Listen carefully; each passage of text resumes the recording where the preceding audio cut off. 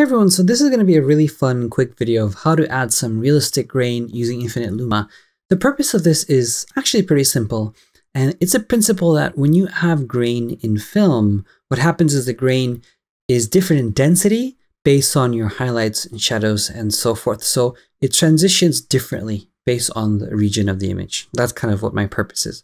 I'm going to go ahead and enhance and compress some of these uh, highlights here so you can get a better gradation, even though you wouldn't do this normally. This is just for example purposes, so you can see the transition uh, a little bit better since we're adding more contrast effectively. So now you can see that there's definite shadows and definite highlights. So that's gonna be the first step. And this is shot by Stefan, who is my partner here at Infinite Tools. Sorry about that, Stefan. It's it just it happened. You know that's how it is. Next, we're going to just apply some simulation grain. I should say it's it's actually noise, but for the purpose of this, I'm just going to call it grain. Now you can also do grain overlays, like grain scans, and then use Luma to transition nicely. So I'll fill the contents of this layer with a 50% gray. I just hit Shift Delete on a blank layer, came up with this menu option, 50% gray. Change the blend mode to soft light for a second since it doesn't really do anything. It's going to be the canvas for which noise is going to sit on. And it's that's the way that the noise is applied to the image. So I'll go to filter, noise, and then add noise. And let's reduce the opacity a little bit too much. I'll click on uniform. I like uniform a lot.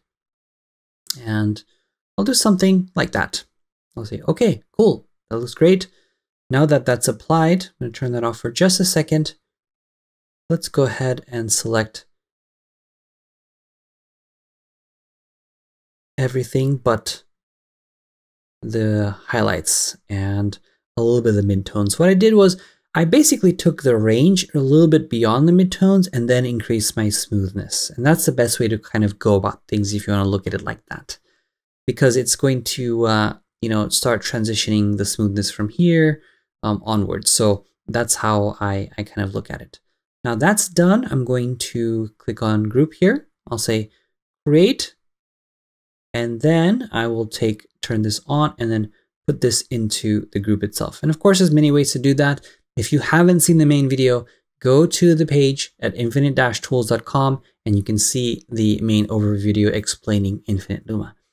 Okay, cool. Now that you've done that, I'll also put in the link in the description. So let's go ahead and analyze what just happened here. So I'll simply click on option and click on the mask. And you can see here, anything that's black doesn't have anything in it. Anything that's white has 100% and everything in the middle transitions nice and gradually.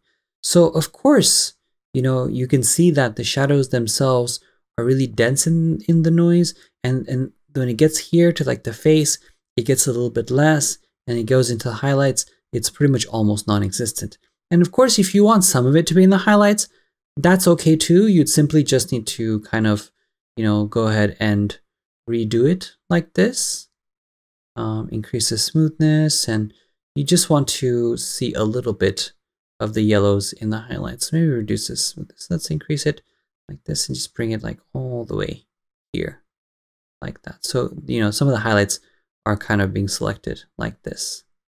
And then I'll just uh, right click on the create button and it replaces mask like that. So the highlights have a little bit uh, still in there. So there you go. You can see here now that uh, the grain is transitioning differently from the brightest point all the way to the darkest point. And this is also further amplified the more you look at areas like this and like this. It just has a different level. You can see it from like the shadows and highlights. So this is just another level to add variation and different levels of intensity to grain or pretty much anything else. Even if you say did a curve and you into the blue channel and you decreased it, it's increasing more in the shadows and the midtones than it is the highlights. This can be very advantageous if you want to say color grade like this and then perhaps duplicate that folder, invert that folder mask like this, so instead of this, it's like this, and now only the most of the highlights are selected. And then over here, uh, you know, do the opposite if you if you so if you so choose to, like this or or like this. So you're basically just color grading them independently. But because this is an example of grain, and I don't want to get too sidetracked, you get an idea of how these luminosity masks can be used for textures and colors. And if you want to see more of this stuff, go to our page. There's other videos on the Academy. You can go down, scroll down to the Infinite Luma page. At the bottom, you'll see all these other videos.